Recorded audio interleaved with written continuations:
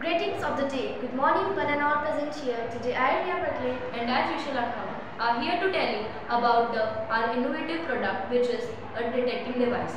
This detecting device will tell you about the quality of the fruit, vegetable as well as soil. It will tell you that a fruit or vegetable is rotten or fresh because it can be identified by outside by outside seeing the fruit or vegetable. It will also tell you about the quality of the soil by telling you uh, what amount of minerals and nutrients are needed by the soil to, be, to, to become fertile. It is very useful to farmers and it is very comfortable to use it. So please cooperate us and take it. Thank you.